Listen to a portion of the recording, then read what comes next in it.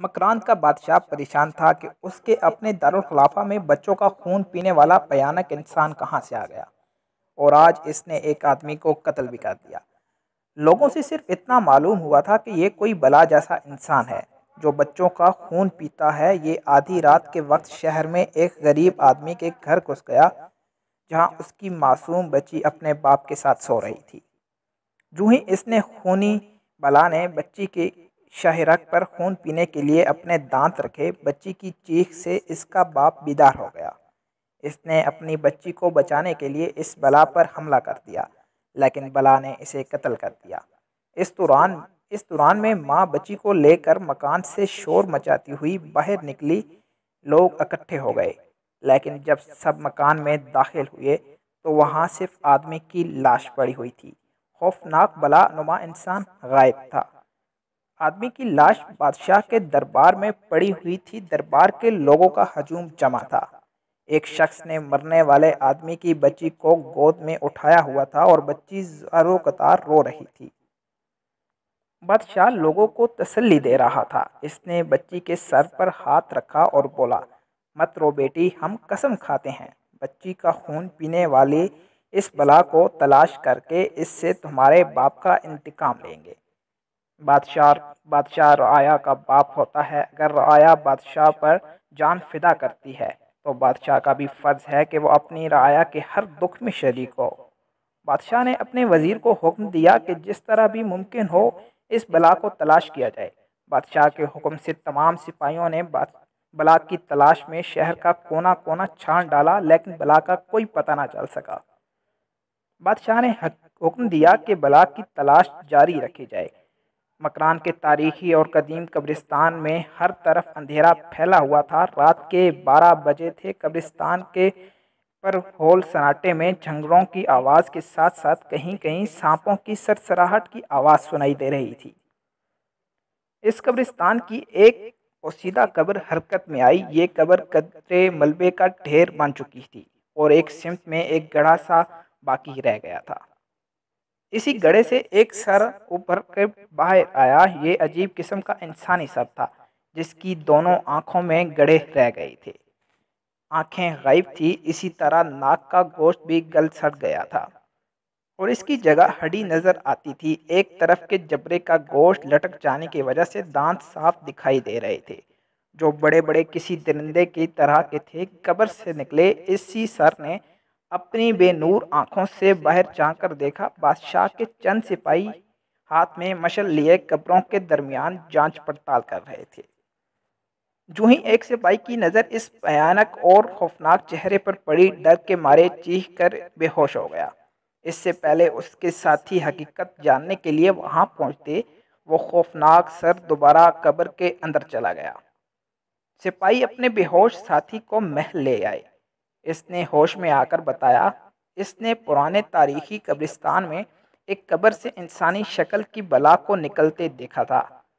बादशाह को जब इस वाक़े की इतला मिली तो इसने वज़ीर जाबिर शाही नजूमी और दीगर इमरा को कब्रिस्तान भेजा ताकि हकीकत का पता चल सके। बेहोश होने वाले सिपाही की निशानदेही पर कब्र की खुदाई करवाई गई। कब्र के अंदर एक इंसानी ढांचा नज़र आया। टांचा, टांचे के गले से एक काला नाग नाग लिपटा हुआ बैठा था। महल आकर नजूमी ने अपना हिसाब लगाया और बादशाह से कहा, बादशाह सलामत, एक बदो जो किसी खबीस इंसान की है। वो कब्रिस्तान में एक मुर्दे के टांचा, टांचे में दाखिल होकर बाहर निकलती है और इंसानी रूह पी कर वापस कब्र में आ जाती है और फिर वो रूह का, काला नाग के जिसम में दाखिल हो जाती है। ये काला नाग काफ़ी दिन पहले मर चुका था, लेकिन बदरू ने इसके जिसम पर कब्जा कर रखा था। बेहतर यह है कि इस सांप को हलाक करके ढांचे को जला दिया जाए, ताकि इस बला से नजूमी की बातों को इस बला से हमेशा के लिए निजात मिल जाए। बादशाह ने गौर से नजूमी की बातों को सुना और हुक्म सादर कर दिया कि कब्र के सांपों को तीरों से छलनी छलनी कर दिया जाए और ढांचे को आग लगा दी जाए। बादशाह के हुक्म के मुताबिक कब्र को दोबारा खोला गया और बादशाह के सिपाहियों ने तीरों की बारिश करके काले नाग को काले नाग के टुकड़े टुकड़े कर दिए। फिर सिपाहियों ने तेल डालकर ढांचे को आग लगा दी और ढांचा जलकर राख हो गया। बादशाह की शादी को चार साल हो गए थे, लेकिन कोई औलाद नहीं हुई थी। जाबिर बड़ा नमक, हराम और गदार किस्म का वज़ीर था। इसकी ख्वाहिश थी कि बादशाह के यहाँ कोई औलाद ना हो और बादशाह को कत्ल करके खुद ताजो तख्त पर कब्जा करे। लेकिन दरबार में चंद वफादार अहदेदारों की मौजूदगी में उसे कामयाबी नहीं हो रही थी। बादशाह और मलका दोनों दिन रात दुआएँ करते थे। अल्लाह ने इनकी सुन ली और एक दिन बादशाह के तख्त ताज की वरासत शहजादी ने जन्म लिया। वज़ीर चा वज़ीर जाबिर के लिए ये खबर नाकबिल बर्दाश्त थी। एक रोज़ कबल जाबिर वज़ीर के यहाँ भी एक बेटी पैदा हुई। जाबिर वज़ीर अपने कमरे में चीनी से टहल रहा था। बेचैनी से टहल रहा था। उसके सामने शाही नजूमी सर झुकाए खड़ा था। जाबिर वज़ीर ने कहा बादशाह तुम्हें शहजादी का जायचा बनाने के लिए बुलाएगा। तुम बादशाह की बेटी को बादशाह बादशाही मलका सुल्तनत और मल, मुल्क के लिए मनहूस करा दे देना और उसके उसके फौरी कत्ल का मशवरा दे देना। मैं तुम्हें माला माल कर दूँगा, तुम्हारे घर सोने चांदी से भर दूँगा। नजूमी ने जवाब दिया, जनाब, अरसा दराज के बाद तो बादशाह सलामत को तख्तो ताज की वरासत में ली है। फिर भला कैसे नमक हरामी कर सकता हूँ? मेरे बाप दादा ने इस ख़ानदान की खिदमत की है। बरसों इनका नमक खाया है। मुझे सोने चांदी की लालच ना देकर कोई मालो दौलत कब्र में साथ नहीं ले जाएगा, ये कहकर नजूमी वज़ीर के कमरे से बाहर निकल आया। नजूमी की इस तरह जवाब देने से वज़ीर तल मला कर रह गया। वो दोबारा अपने कमरे में टहलने लगा। वो गहरी सोच में डूबा हुआ था और कमरे में अब इसके अलावा कोई और नहीं था। अचानक कमरे में सरगोशी की आवाज़ उभरी तुम्हारी मुश्किल का हल मेरे पास है। वज़ीर ने हैरत से इधर उधर देखा, कमरे में इसके अलावा कोई मौजूद नहीं था।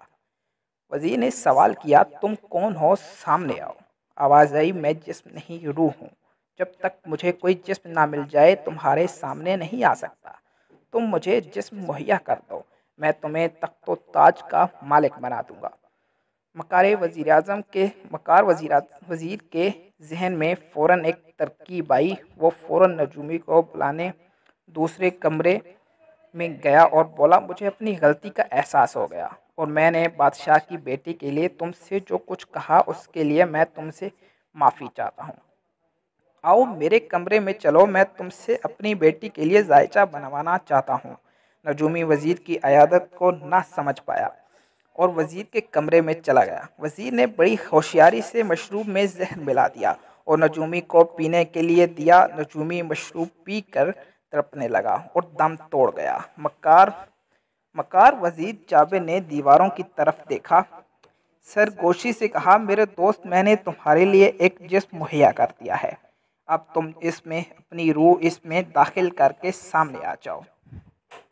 थोड़ी देर बाद नजूमी की लाश में हरकत हुई और वो मुस्कुराता हुआ उठ खड़ा हुआ। वज़ीर ने सवाल किया, अब तुम बताओ, कौन हो तुम और मेरे लिए क्या कर सकते हो? नजूमी के जिसम में मौजूद रूह ने जवाब दिया। मैं जगू डाकू की रूह हूँ। मैं जो बच्चों का खून पिया करता है। बादशाह ने मेरी कब्र को खुलवाया। मेरी रूह जिस काले नाग में थी, उसे तीरों से छलनी करवा दिया। मेरी कब्र में तेल डलवा कर मेरे टांचे को जलाकर राख कर दिया। मुझे दर्द भटक, दर दर भटकने पर मजबूर कर दिया। मैं बादशाह से इंतकाम लेने के लिए तुम्हारी मदद ज़रूर करूँगा। तुमने अच्छा किया, इस नजूमी को कत्ल कर दिया। इस नजूमी ने ही काले नाग को मारने और मेरे ढांचे को जलाने का मशहूर बादशाह बादशाह को दिया था। अब तुम देखो मैं क्या करता हूँ। दूसरे दिन दरबार में सन्नाटा छाया हुआ था। शाही नजूमी शहजादी का जायचा बनाकर सर चुकाए बैठा था। ये शाही नजूमी नहीं था, बल्कि शाही नजूमी के जिसम में समाई हुई जगू डाकू की बदरू थी।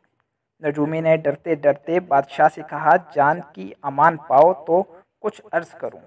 बादशाह ने कहा हाँ हमने अमान दी बोलो क्या कहना चाहते हो?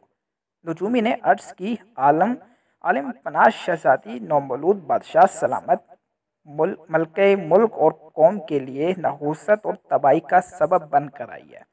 ये इंसानी शक्ल में तबाही और बर्बादी का वो मनहूसा साया है, जिसकी वजह से सब कुछ दबाव बर्बाद हो जाएगा। नाचीज़ की राय में शहजादी को कत्ल कर देना ही अक्लमंदी का सबूत है। बादशाह दिल पकड़ कर बैठ गया।